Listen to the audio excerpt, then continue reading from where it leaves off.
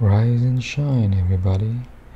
This is the unintentional ASMR morning poetry.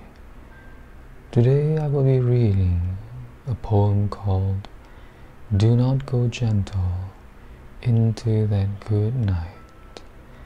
This poem is by Dylan Thomas.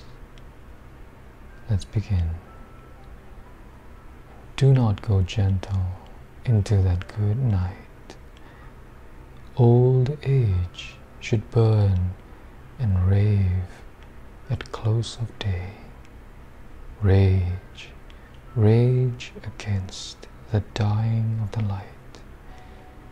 Though wise men at their end know dark is right, because their words had forked no lightning